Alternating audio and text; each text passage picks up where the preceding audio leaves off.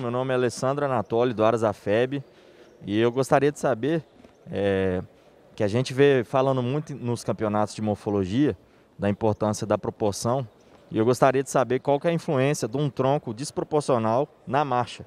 Respondendo ao Alessandro, uma pergunta bastante pertinente, é um tronco desproporcional tem bastante influência negativa na marcha. A gente pode citar aí um animal, por exemplo, de tronco um pouco mais comprido ou longilíneo, né? Ele vai ter uma tendência aí de poder oscilar um pouco mais tanto a garupa quanto a espada e também de desfavorecer a reunião. E um tronco também um pouco mais curto, que a gente chama de breve líneo, também vai faltar é, espaço no vazio substernal justamente para a gente poder ter o movimento desses desses membros é, na reunião, né? engajando, estendendo.